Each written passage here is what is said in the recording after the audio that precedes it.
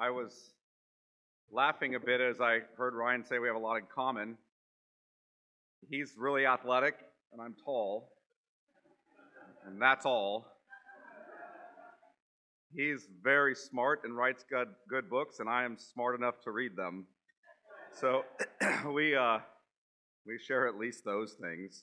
Um, before I get started with my talk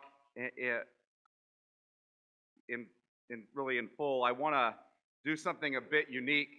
I, I want to show a video, and I'm going to set this up a minute. I want to show a video because, in part, this was supposed to be Brooks Buser's session.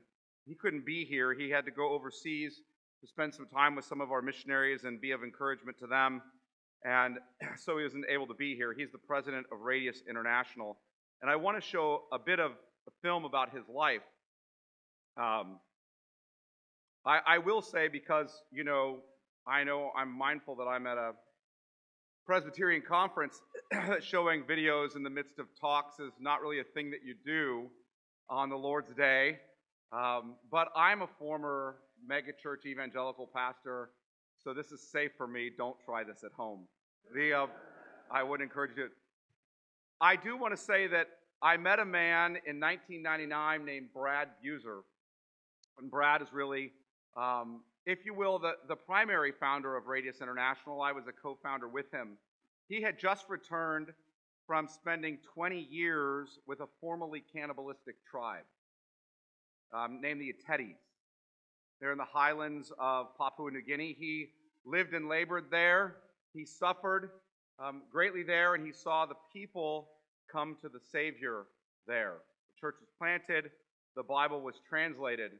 And I first met him when he arrived back from Eteti in 1999, and he was a man, if you will, on fire to talk about the thousands of other people groups just like the Etetes. And when he told me about this, I was stunned. I was ignorant um, and a bit shocked by the whole thing and, and moved to think something needs to be done about that. I was then privileged to meet and become a supporter of two of his sons, Brooks Buser, who's the president of Radius International, and Brandon Buser. Brooks Buser went to the Yembi Yembi people group, and Brandon Buser went to the BM. So just among those three men in that family, three unreached language groups have been reached. Churches have been planted, the Bible's been translated. Um, Brooks, as I said, went to the Yembi Yembi. His team spent 14 years there. They learned language um, really quickly. They had an incredible facility for language. They only there 14 years. They created a written orthography for the Yembi Yembi. They translated the Bible. Actually, their Bible translation um, is in the Museum of the Bible. You go there, you can see it. Um, translated the Bible. They told the Yembis about Christ, beginning in Genesis, and the church was born and it flourished. Brooks then returned to the Yembi Yembi to present to them the translated New Testament. The, the Old Testament is in progress, nearly done, but he presented to them the translated New Testament. Um, and by the grace of God, friends of, of ours uh, chose to pay for a film crew to go to the Yembi Yembi on the day that Brooks and his team brought them the Word of God for the first time in their own language. And I want to show you um, the video that we captured of that day. Um, this isn't play acting, this was the day it happened um, in real time, and I want you to see that. So we're going to start there.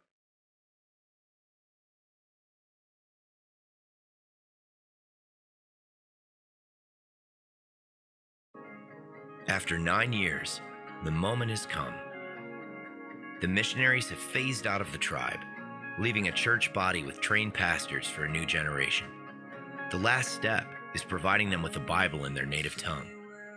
This occasion is honored by a dedication that brings hundreds of native believers, neighboring missionaries, and even supporters from back home. It's a celebration of heavenly proportions. I want to hear the music play. I wanna hear the trumpet sound. I wanna hear you call my name and watch my feet lift off the ground. I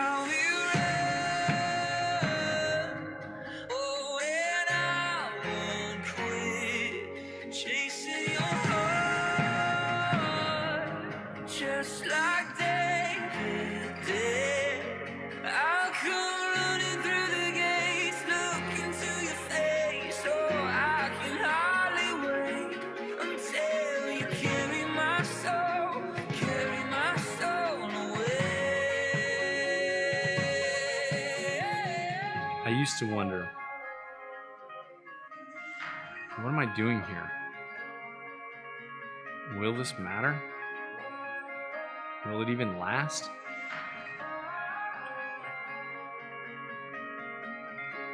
Now I just stand and wonder. How did God take us, a few regular people, to this remote village in the middle of the jungle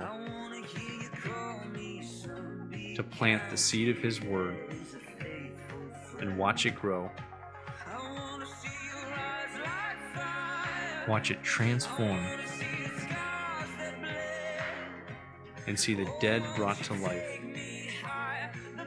and hear a new people proclaim God's glory in their own language.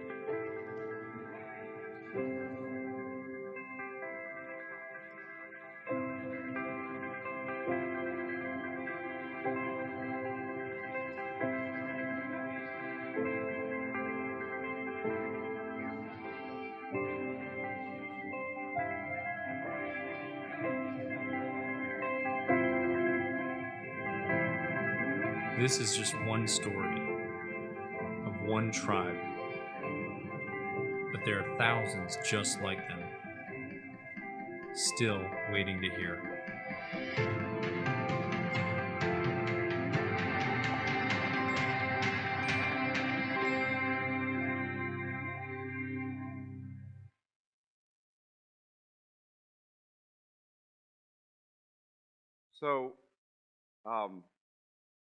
I, don't know if you can, if you've ever had new Bibles at your church and had people respond that way. Um, I, I think we often take for granted the rich privilege we have having the, the Word of God in our language, hearing the gospel, being able to have it, copies of it in our home, and being able to read it. It's an incredible blessing. But what a privilege and joy it is, saints, for um, Brooks to have had the privilege with his team to bring the gospel to the Yembi Yembi. Um, what a good use of his life. And there, as he said, are thousands more people groups like these. They range anywhere from the size of his tribe, which is mere thousands, to people groups in some Muslim regions that reach up into 10 million. They have no church, no um, access to the gospel, no Bible in their language. This is what Radius trains people to do. This is what GPTS is now partnering with Radius to train people to do. That's what I'm hoping Presbyterians will rush to do. Uh, with that said, look with me at Romans 15. Romans 15.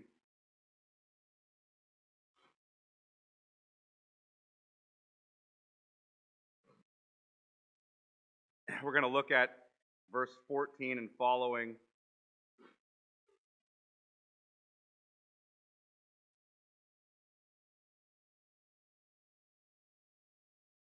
I myself am satisfied about you, my brothers, that you yourselves are full of goodness, filled with all knowledge, and able to instruct one another. But on some points I have written to you very, very boldly by way of reminder because of the grace of God, or the grace given me by God, to be a minister of Christ Jesus to the Gentiles in the priestly service of the gospel of God so that the offering of the Gentiles may be acceptable, sanctified by the Holy Spirit. In Christ Jesus, then, I have reason to be proud of my work for God. For I will not venture to speak of anything except what Christ has accomplished through me to bring the Gentiles to obedience by word and deed, by the power of signs and wonders, by the power of the Spirit of God, so that from Jerusalem and all the way around to Illyricum, I have fulfilled the ministry of the gospel of Christ. And thus I make it my ambition to preach the gospel not where Christ has already been named, lest I build on someone else's foundation. But as it is written, those who have never been told of him will see, and those who have never heard will understand. This is the reason why I've so often been hindered from coming to you. But now, since I no longer have any room for work in these regions, and since I have longed for many years to come to you, I hope to see you in passing as I go to Spain, and to be helped on my journey there by you once I have enjoyed your company for a while. At present, however, I'm going to Jerusalem bringing aid to the saints. For Macedonia and Achaia have been pleased to make some contribution for the poor among the saints at Jerusalem. For they were pleased to do it, and indeed they owe it to them for if the Gentiles have come to share in the spiritual blessings, they also ought to be of service to them in material blessings. When therefore I have completed this and have delivered to them what has been collected, I will leave for Spain by way of you. I know that when I come to you, I will come in the fullness of the blessing of Christ. I appeal to you, brothers, by our Lord Jesus Christ and by the love of the Spirit, to strive together with me in your prayers to God on my behalf that I may be delivered from the unbelievers in Judea, and that my service for Jerusalem may be acceptable to the saints, so that by God's will I may come to you with joy and be refreshed in your company. May the God of peace be with you all. Amen. Let me pray. Father, we ask as we come to this, the word of the head of church, our Savior, our Lord Jesus Christ. This word, superintended by the Holy Spirit, Paul wrote, for the sake not only of the church in Rome, but for the sake of your church in every age and place, we pray that the Spirit would bless the word to our hearing. That we would understand Paul's ambition, and that the church in our own day would share that ambition. We pray this in Jesus' name. Amen. I remember asking Brad Buser, Brooks's dad, how he endured all the suffering that he endured. And here's the thing it's, it, when I asked that question, I wasn't just talking about the years of loneliness or fatigue or discomfort. I wasn't just talking about the numerous diseases that he suffered from, the oppositions that he faced, or the hard labors that he went through. For Brad, when I asked that question, he knew what I meant. What I meant on top of all that is after 20 years of that, you stood in an airport and watched your two sons with their wives and your grandchildren get on a plane to go do the same thing knowing that you and your wife, Beth, after all your sacrifice, would sacrifice once again, really living a life in which you never got to enjoy the company of your grandchildren? How did you give your life to that? And he immediately replied to me, Chad, it's worth it. Jesus is worth it. One day, I will never forget. One day, I will have the joy of standing before the Lord and saying, Here's the Teddy Church. I laid down my life for her. Here's the churches that my sons laid down their life to bring before you. Brad gave his blood, sweat, and tears, his financial and physical security, his great privilege of seeing his kids and grandkids grow up to this end. That this people group, that these people group, might know the love of God, the grace of our Lord Jesus Christ, and the fellowship of the Holy Spirit. The Teddy Church for Brad is a kind of priestly offering that he longs to present to the Lord. He does not believe that the Teddy Church is his justification before God. He knows that Jesus is his justification. He means that the Teddy Church is his glory and his joy and his crown and his boasting before the Lord. Now, I've had the unspeakable privilege of supporting and working with these men who have suffered so much loss for the sake of Christ being known among the nations. These men, in, in one sense, of whom the world is not worthy. The love of God in Christ compelled these men and their wives to lay down their lives to carry the gospel to the furthest reaches of the earth. The lives of such men actually resonate with all of us, I think, because we have the same Spirit of Christ dwelling in us. And the love of God has been shed abroad in our hearts. And, and I want us to be continued to be challenged, if you will, to follow their example. So I want to begin by looking at this passage in Romans together. And I really want to take it in two parts. We're, we're largely going to focus on the first few verses here. Here's what the two parts are what is our priestly offering, or what our priestly offering is, and how our priestly offering is made acceptable. That, that's essentially what I'm going to get at here as Paul speaks of his priestly offering and how it's made acceptable. So, what our priestly offering is, and here's what I'm going to argue um, at least one of the church's priestly offering is, is the Gentile nation, the nations who've never heard. So, look at Romans 15 and verse 14 with me. I myself am satisfied about you, my brothers, that you yourselves are full of goodness, filled with all knowledge, and able to instruct one another. But on some points I have written to you very boldly by way of reminder because of the grace of God, grace, the grace given me by God, sorry. Now, Paul's writing to the church at Rome. He knows that they have been planted not by him nor by any apostles we're aware of, that they have been growing in the faith so that their faith is heard of in all the world. But he has to remind them of some things. And, and we've read largely through Romans, I'm sure, as church. All of you have been reading through this book numerous times. So you know some of the things that Paul's reminding them of. But notice what he says about the grace given me by God, verse 16. The grace given by God to be a minister of Christ Jesus to the Gentiles in the priestly service of the gospel of God, so that the offering of the Gentiles may be acceptable, sanctified by the Holy Spirit. What is his priestly offering? He's offering the Gentiles, the peoples. This maps on to what he's told us in more than one place in Romans. If just keep your hand there and look at Romans 1. Romans 1. And just notice how this letter is introduced. Paul, a servant of Christ Jesus, called to be an apostle, set apart for the gospel of God, which he promised beforehand through his prophets in the Holy Scriptures concerning what? Concerning his son, who was descended from David according to the flesh and was declared to be the Son of God in power according to the Spirit of holiness by his resurrection from the dead, Jesus Christ our Lord.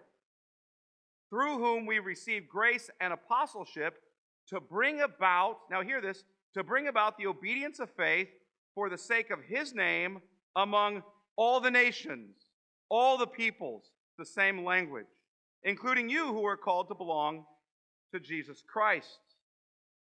This is how he, if you will, ends the book. Look at Romans 16. Romans 16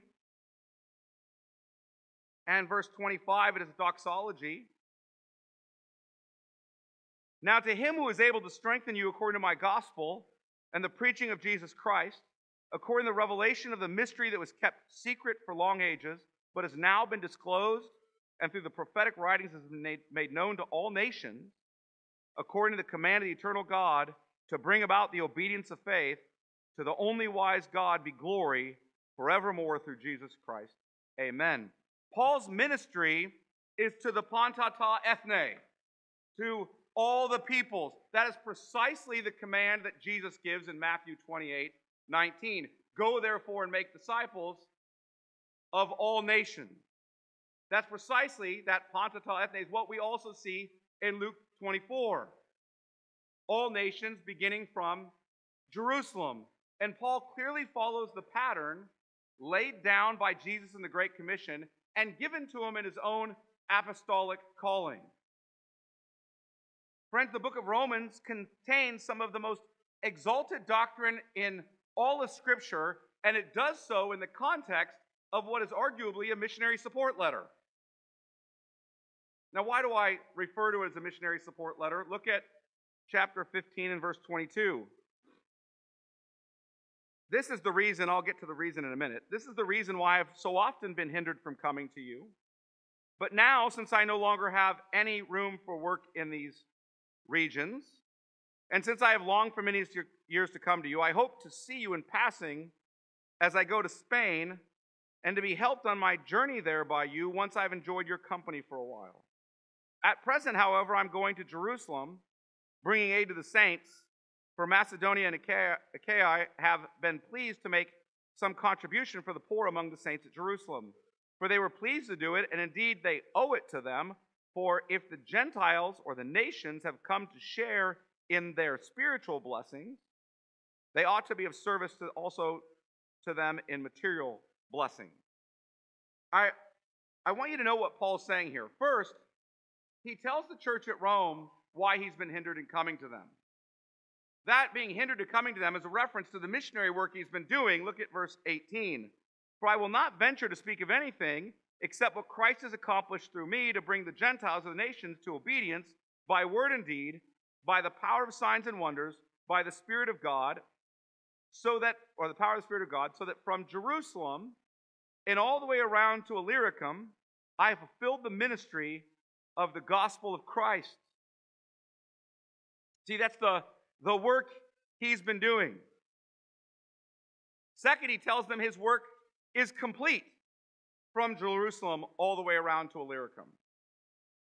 I have fulfilled the ministry. Now look at what he says in verse 23. But now, since I no longer have any room for work in these regions, and since I have longed for years, many years to come to you, I hope to see you in, in passing as I go to Spain.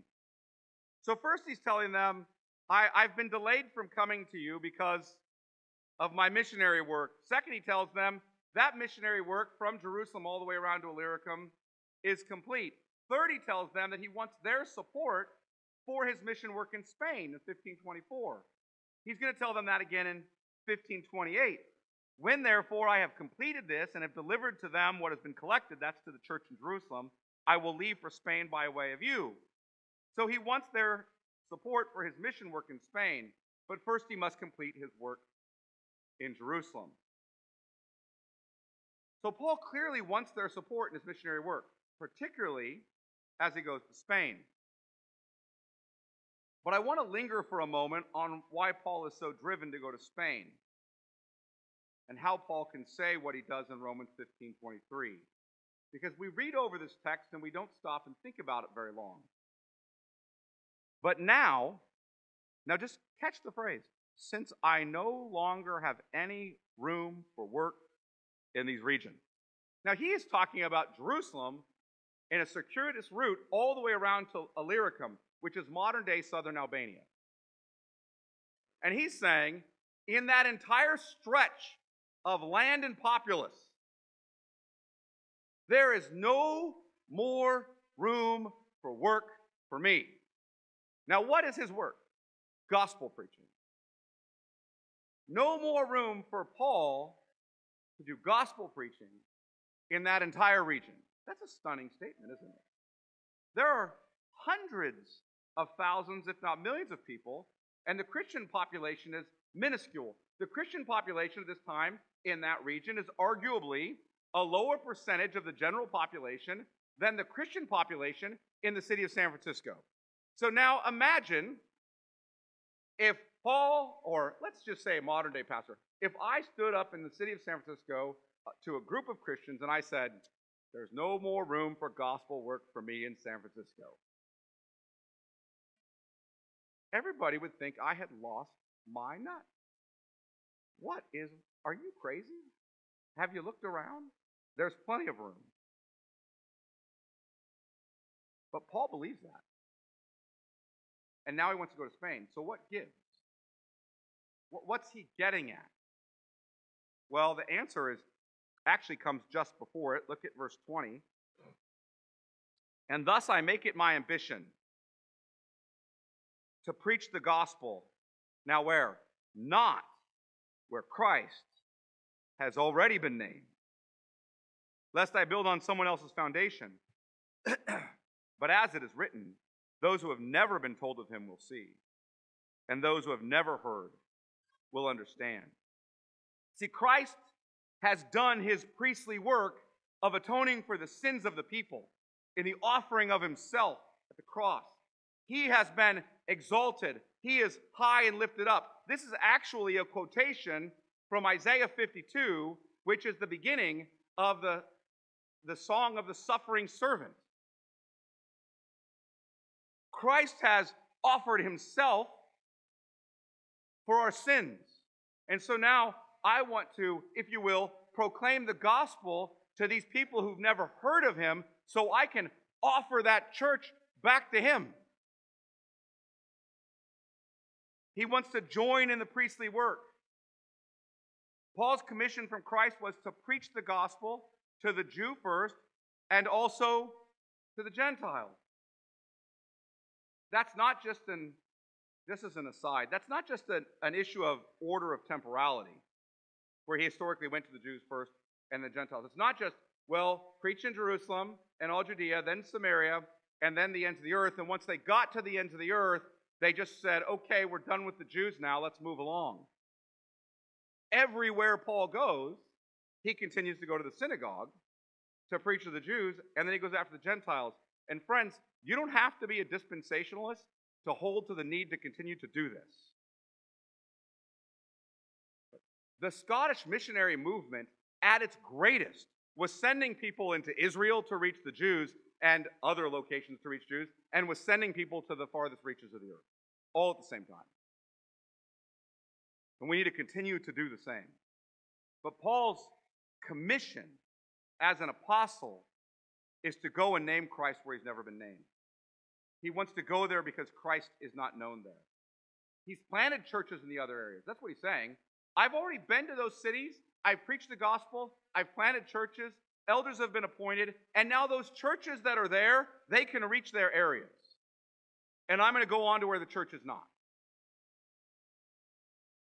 But Paul needs to press on to where Christ has never been named. Paul takes seriously the commands of Christ. The apostles, especially Paul, were commanded to make Christ known in every tribe and tongue and nation. Now, we are not apostles. We understand that. None of us were the 11 on the mountain in Galilee receiving the Great Commission initially. None of us had Christ appear to us resurrected and tell us to go to the nations. And if you think that's happened, come talk to me. We probably can set you up with some appointments for counseling. But none of us have had that. But the apostles and the prophets are the foundation of the church. And the keys of the kingdom have been handed to us. And we continue the work given to them.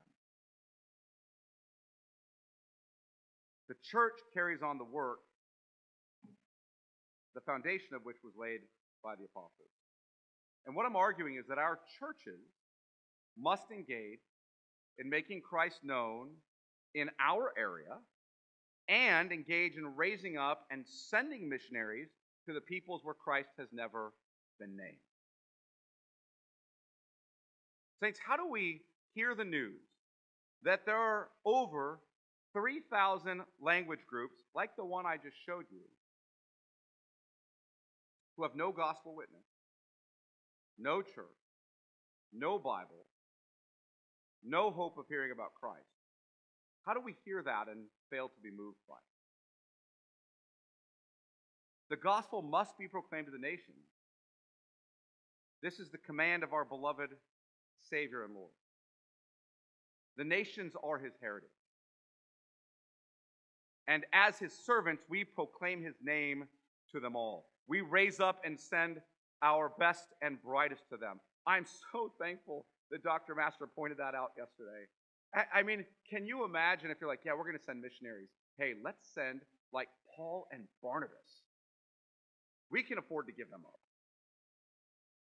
Your senior pastor. We can afford to give him up. Now, I don't mean because you think low of him.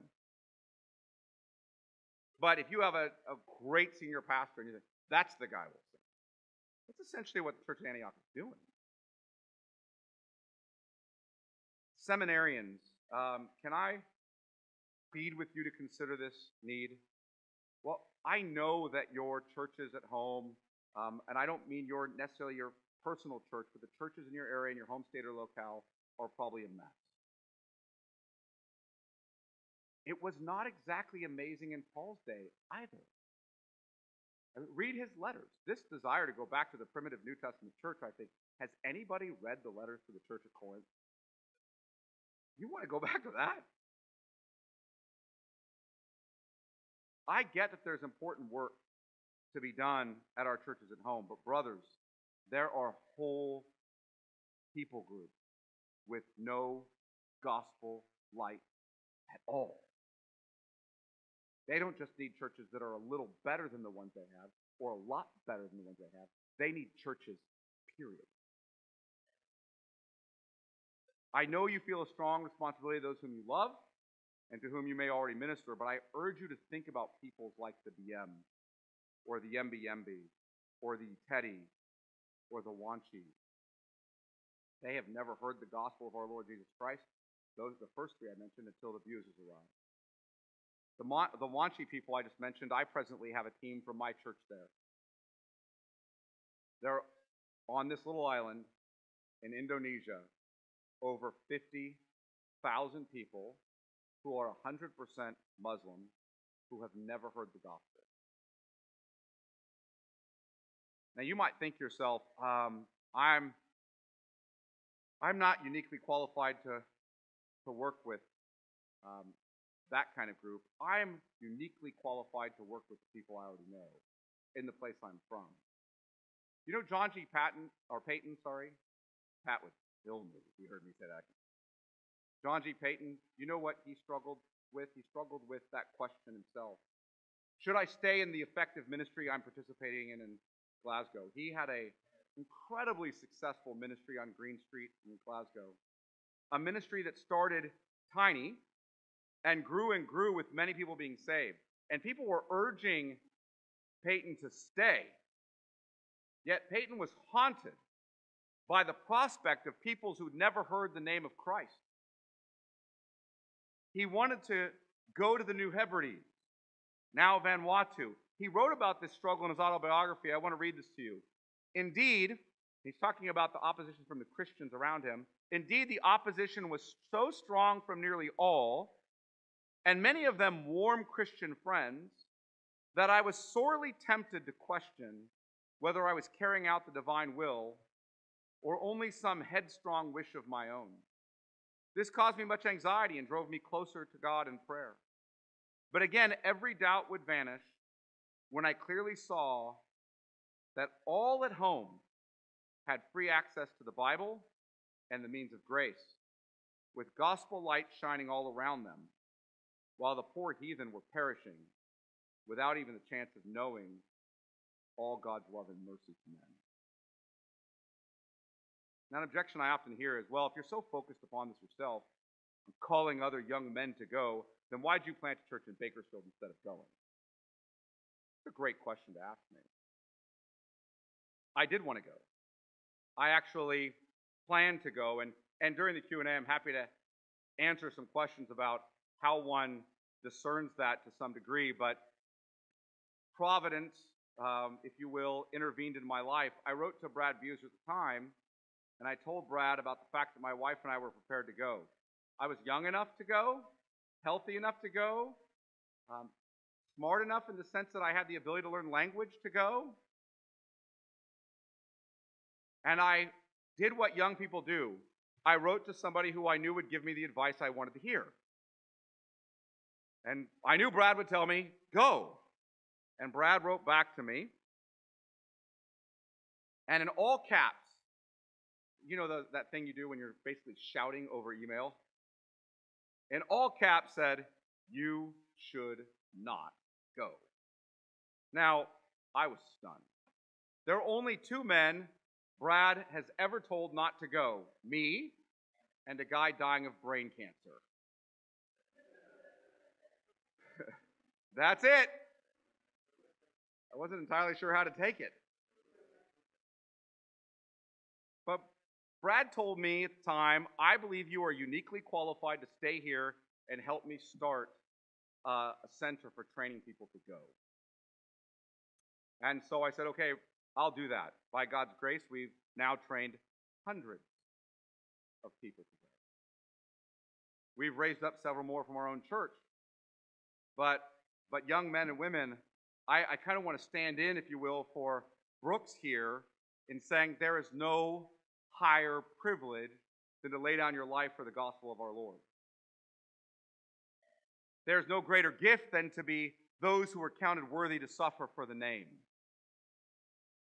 Imagine being the first person to ever name Christ among a people group who've never heard of him.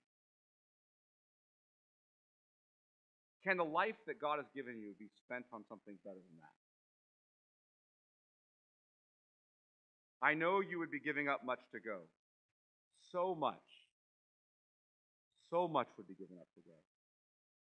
But as Jim Elliot, who was martyred, many of you know about in South America, said, he is no fool who gives up what he cannot keep to gain what he cannot lose.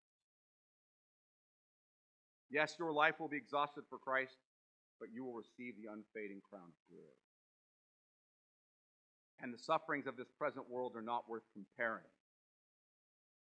to the glories to be revealed to us.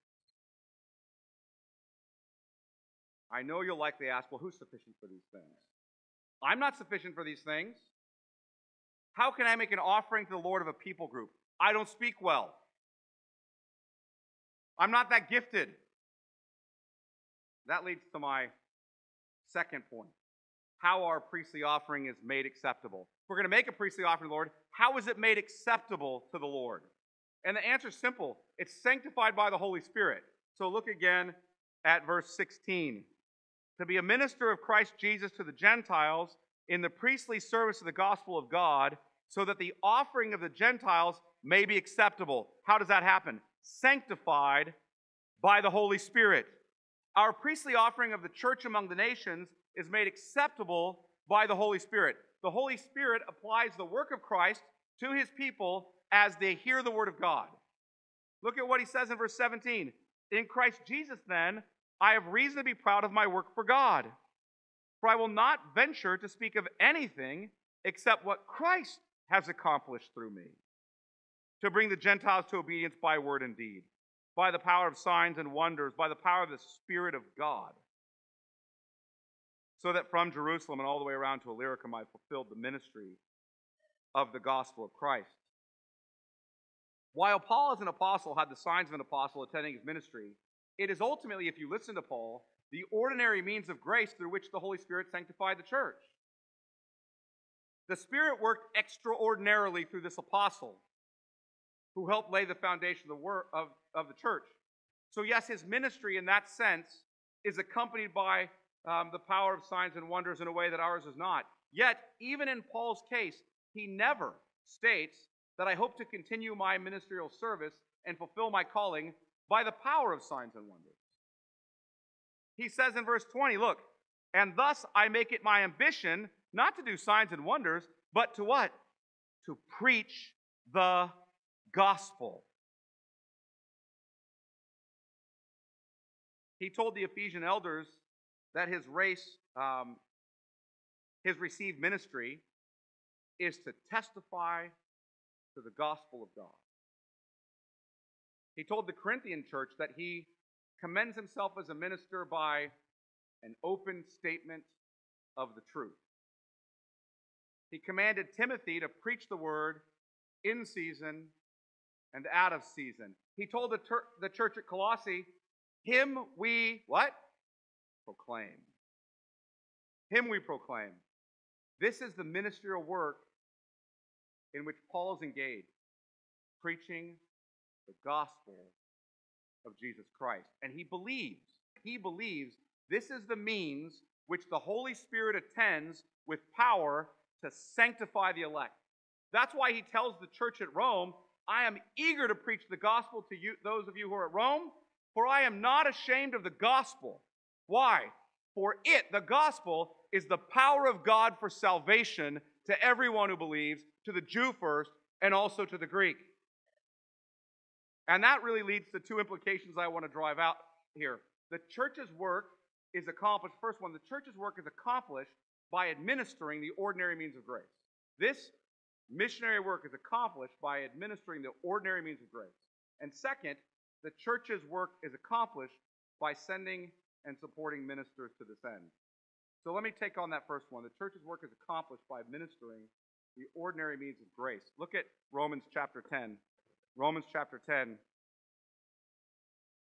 and verse 13.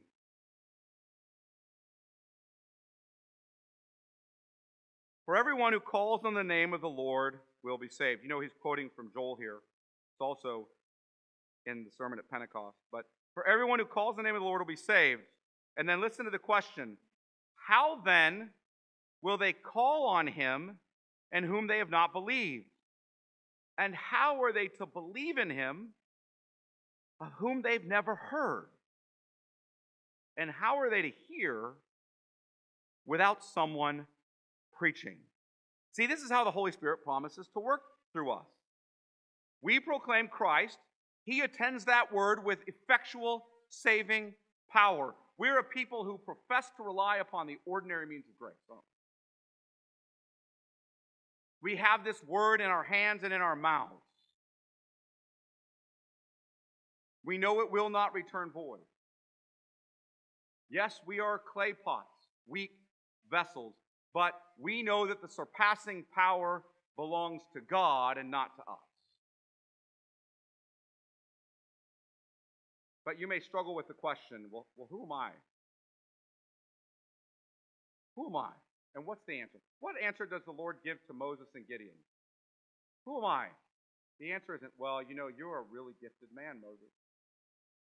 You have a you have a winsome personality. Pharaoh's going to be won over by you. His answer has nothing to do with Moses. What is it? Who am I that I I am with you. I am with you. Gideon, who am I? I am with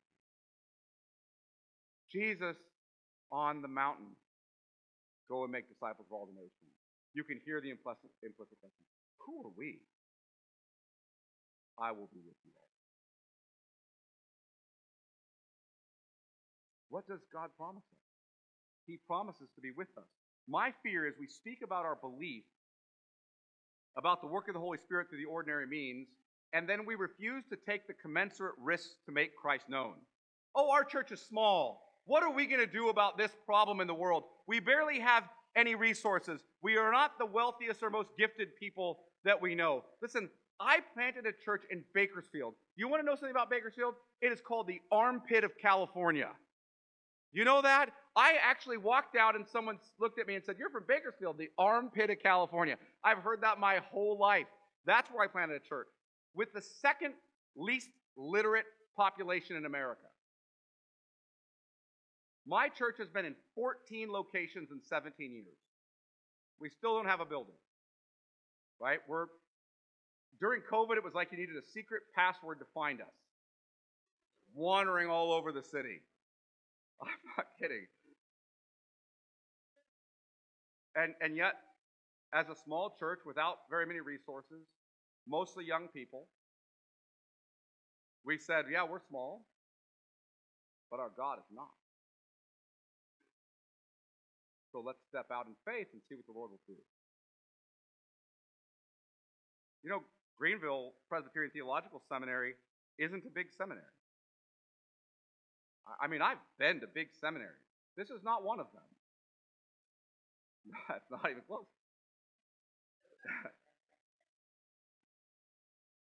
it's a bold move for them to say, we're going to be a nursery for missionaries. But I, I want to ask the question do we believe what Paul tells us or not? For consider your calling, brothers. Not many of you were wise according to worldly standards.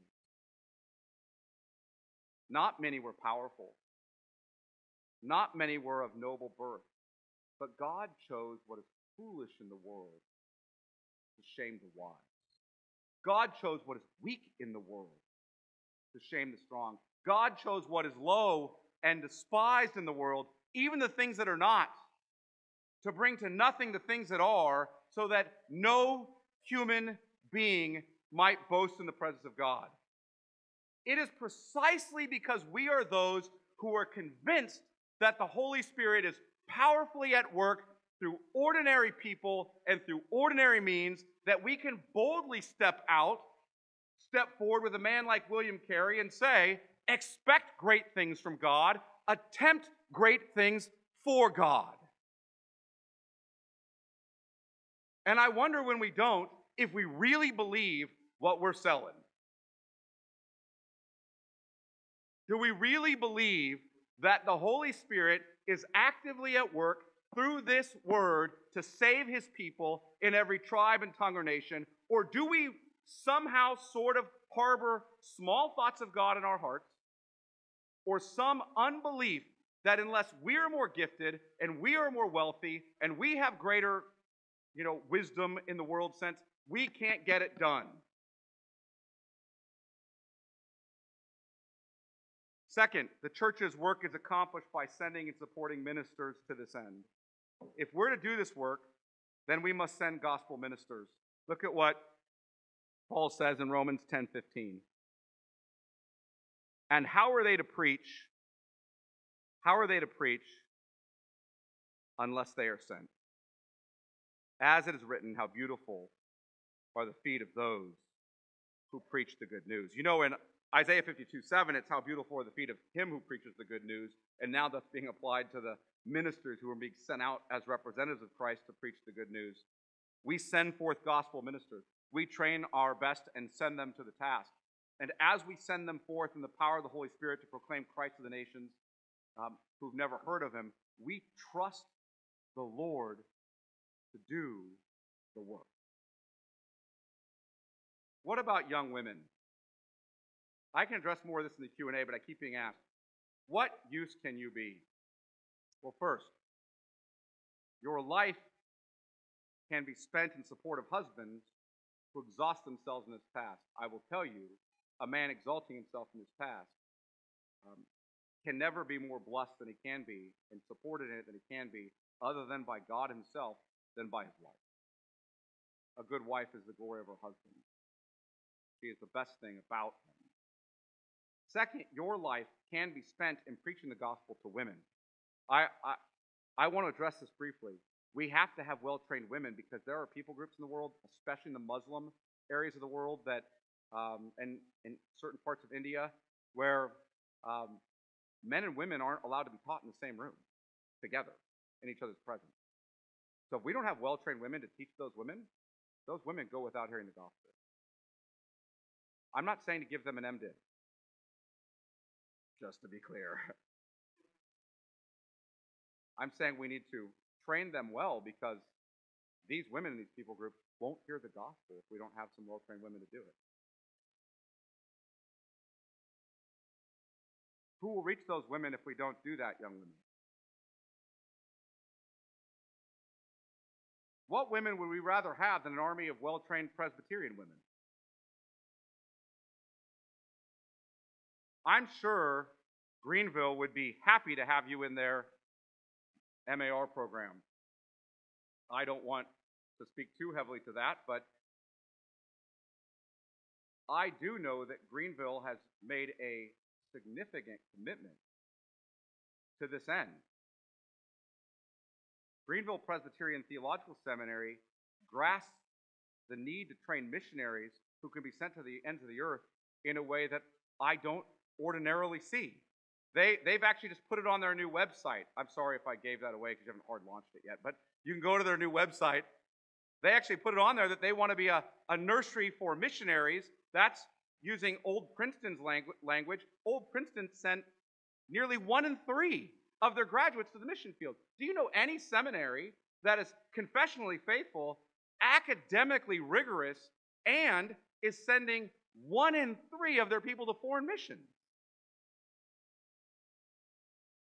And by God's grace, I have no lack of confidence that Greenville Presbyterian Theological Seminary can do the same thing because we have the same God and the means of grace are the same. We can see a seminary of the highest caliber with deep commitment to our confessional heritage raising up an army of foreign missionaries. So I encourage you to give generously to the seminary. They didn't pay me to say that. Give to their MDiv and missionary church planting.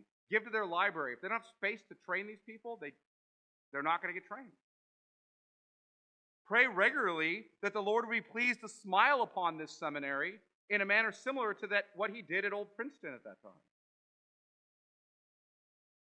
I do pray that the Lord is pleased to work in our Presbyterian churches with such power that the light of his gospel spreads across the world to those who've never heard.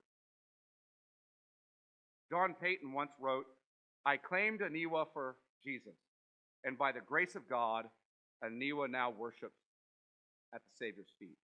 When Brooks and I arrived on Aniwa, shooting our film on the life of John Paton, we were struck by our meeting with the Islanders. We came onto the Islander. They had scarcely seen any white people, um, maybe a decade or more since they'd seen any. Thankfully, Brooks was able to speak their language, which was a special treat to watch. And so Brooks started asking them, Can you tell me the gospel?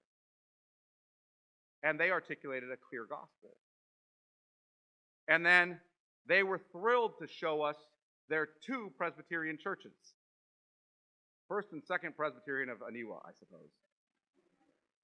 They had one up high and one down low. Paton started in the lowland and they took us. They know about John G. Paton. They're thankful for him. They took us to the spot where they were, where they were converted and where they first had communion. They have it marked as a church. They showed us where his children and grandchildren are buried. Brothers, I can't quantify for you how thrilling that moment was for us. This Scottish Presbyterian minister laid down the life of his first wife, six of his children, two of his grandchildren, and suffered immensely to make Christ known. And that offering of his life is still bearing gospel fruit to this day in India. May our Presbyterian churches claim these unevangelized nations for Christ May the Lord be pleased to save them, and may it be our joy and crown to stand before the Lord and offer him the churches that are born in those unreached language groups. Let me end with the words of J.W. Alexander.